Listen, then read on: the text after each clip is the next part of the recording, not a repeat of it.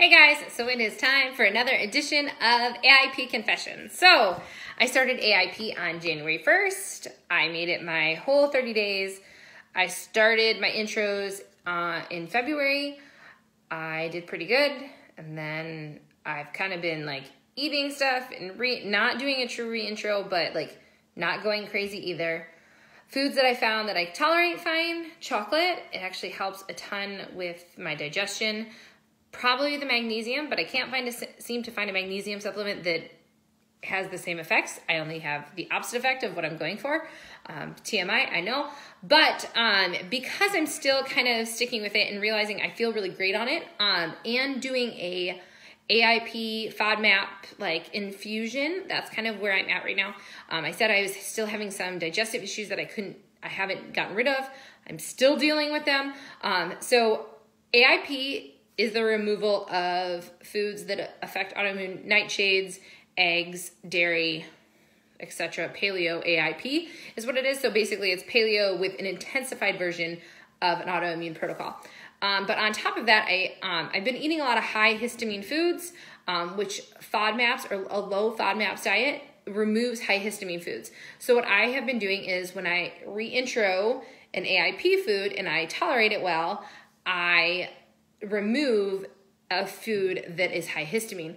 Um, but what I'm finding is when I'm eating stuff over and over again, cough, cough, tomatoes, um, I'm thinking that I'm kind of having an issue with them. So I'm thinking um, of kind of going back AIP and maybe removing those high histamine foods as I do it and then seeing how I feel. It's really hard because high histamine foods and AIP basically eliminate like 95% of the things that you can eat. Um, so it's going to be kind of intense for me over the next couple weeks. I'm probably thinking that I'll really like start next week um, with some meal prep. But um, in the meantime, I got something super excited. So Mickey Trescott, who is one of like the super duper people in the AIP community, Mickey Trescott is also an NTP. So she's a nutritional therapist like me, and she wrote another cookbook. So here it is. This is the Nutrient Dense Kitchen. All of the things are for AIP protocol. So if this is a practical guide to nutritional density and autoimmune protocol. So I 125 autoimmune paleo recipes for deep healing and vibrant health. Oh my gosh, this cookbook is just beautiful. Every page just makes me want to kiss it. Um, there are some interesting things in here that I'm like, I don't think I'm going to have. There's like a beef liver thing that looks like beef liver pudding. I'll take my beef liver in a supplement form. Um, but there is a bison shepherd's pie that looks beautiful and gorgeous that I'm gonna make. Um, here's a marinated steak and veggie. I'll show you this picture. Like, look at that. Sign me up. So, um, it's a smoky Brussels sprout hash with shallots. Um, Brussels sprouts are high histamine. I haven't quite eliminated them yet because, you know, it's like one of the five things I eat all the time. Um, but ooh, a maple vanilla chai. So like as I flip through the pages, there are just more and more things that I think are just absolutely sound delicious and totally awesome.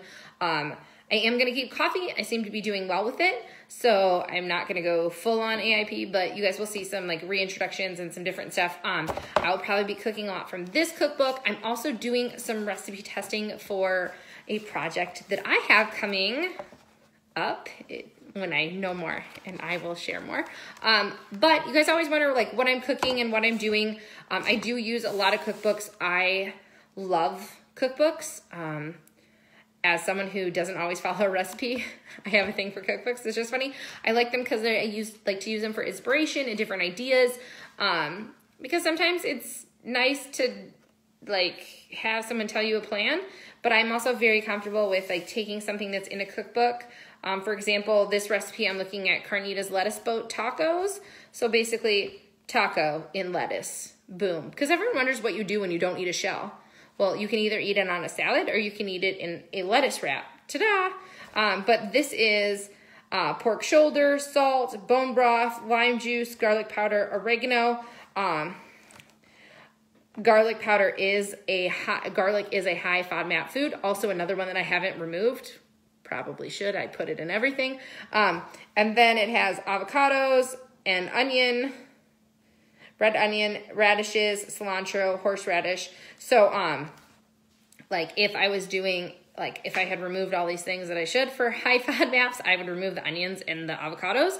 Um, so what would be some options that I could top with it instead? Um, I would be kind of playing with those and getting a little creative. Um, I seem to be doing well with peppers, so maybe I would add peppers. They're not necessarily AIP. So kind of playing with that. Um, just because a recipe says one thing doesn't mean you can't do another. Um, a lot of times I find people like, I don't have a red pepper, but they have a green or a yellow. Just replace it. Like, don't get so caught in the recipe that you don't know what to do.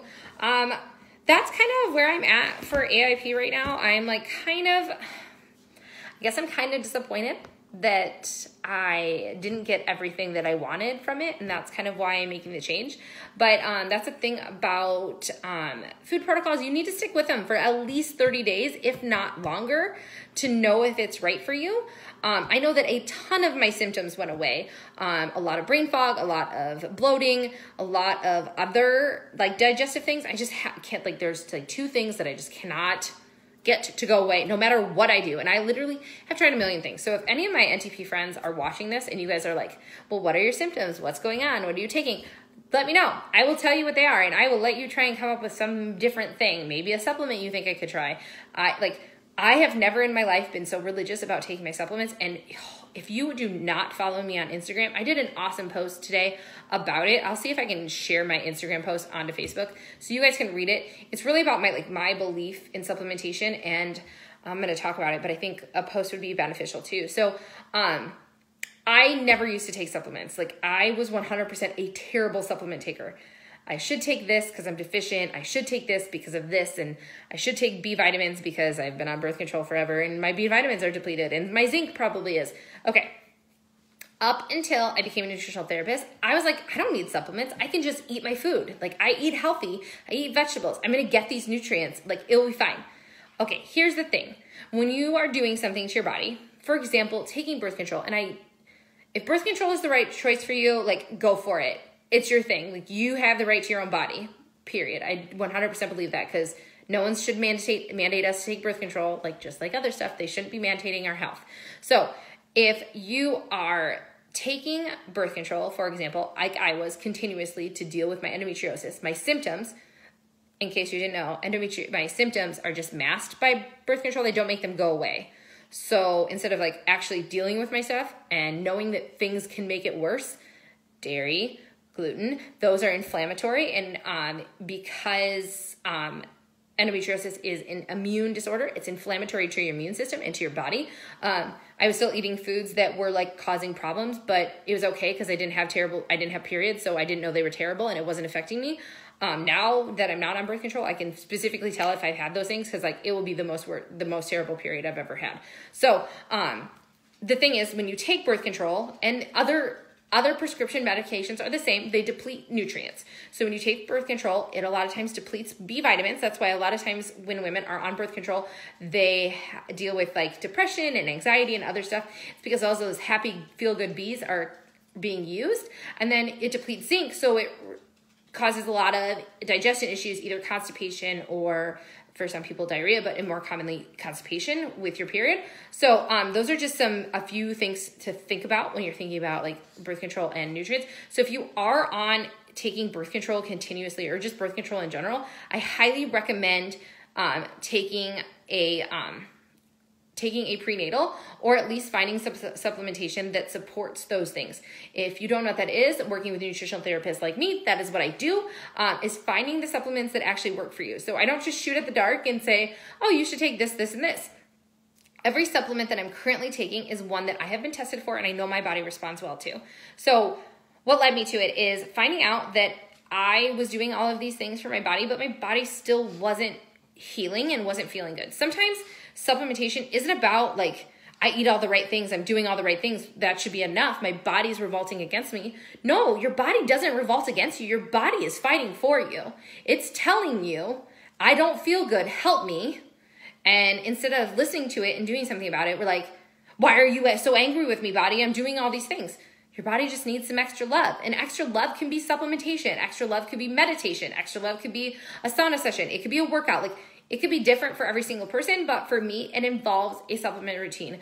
And as hard as it was for me to grasp that I needed to take these supplements, it really has made so many things better for me. And of course, like my diet has been very, very strong. No gluten, no dairy, no exceptions. Like that's like I drew a hard line in the sand and I said, I can't do this anymore because of how it makes me feel.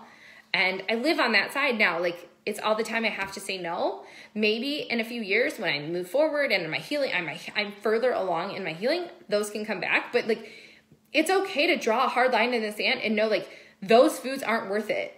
Like, and it's okay to have foods that are worth it. Like, okay, dairy sometimes is worth it. I had a gluten free pizza and I felt I paid for it the whole rest of the weekend for having dairy and understanding like it's okay to have those things if you're really enjoying them. But like the second the joy interferes with so much of your life is the second it's really not worth it. And I then I had that and then not too long after that I got my period and it was a very very horrible period for me and that isn't worth it for me because a horrible period is days of me feeling terrible. It's not just like one day or a couple hours I feel kind of crampy and no, like it's like I want to lay on the floor and kind of curl up in a little ball and cry cuz my like guts hurt. Like all of it hurts. So like I completely understand that kind of pain, and I believe what we eat impacts that, but also there's ways to support that to move forward and heal our body faster. So, food can heal your body, but sometimes it takes a little longer because it's not like you just did this overnight. It's kind of like weight loss. Like, you you want to lose 10 pounds in five days. And I'm like, but how long did it take you to gain 10 pounds? Like, you didn't gain 10 pounds overnight. You can't lose it overnight either. Like, so it's going to take time and it's going to take years. I was on continuous birth control for like more than a decade. So, like, why would I think in a few years I would heal everything I have going on when for 10 year, 10 plus years of using birth control, I was telling my body something else I have to regain those connections. So, what it does, what birth control does, it stops the connection of your ovaries from communing with your like other channels in your body. So, like your hormones aren't like perceiving any connection. And the hormones that you're taking on birth control aren't real hormones. So your body isn't communicating with itself. It doesn't know what to do and it doesn't know what to think. And then you stop and your body's like wtf what did you do? So like give your body some time like that could be any prescription medicine. It could be an antibiotic. Like so many things. Give your body some time and give your body some love and what that body what that love is for your body and my body are going to be very very different. It's part of the reason i showed my supplements but i didn't tell you what i was taking. Um, i mean one one i take a liquid vitamin d which sunshine is just i mean it's showing up in minnesota but i'm not getting enough of it so i'm taking some vitamin d to support myself. So i just want you guys to think about like your body's unique and what does your body need to be supported? Um, and that's going to be different from person to person based on your diet your lifestyle and so many other little factors. That's why individualized nutrition coaching is like what I 100% believe in. Like I don't think keto is perfect for anyone. I don't think there's any diet that's perfect for any like everyone. And I think as your body evolves and as you change and you grow, what you should be eating and what works for you and what doesn't changes. Um, if you notice you're eating a lot of something and you're having issues, like maybe that food is too much or there's a quantity that's appropriate for you. So playing with your nutrition is 100% acceptable and 100% what I encourage. So that is all I'm going to rant on tonight. So if you guys just hopped on and you missed anything, take a look. I did talk about a new cookbook I got, um, some of my AIP confessions and where I'm doing, um, and I'm how I'm guiltily eating all the chocolate. Um, okay, just one square of dark chocolate, 95% every night, like clockwork it's about chocolate time too. All right, guys, you have a great night. If you need anything, you know where to find me. See you later.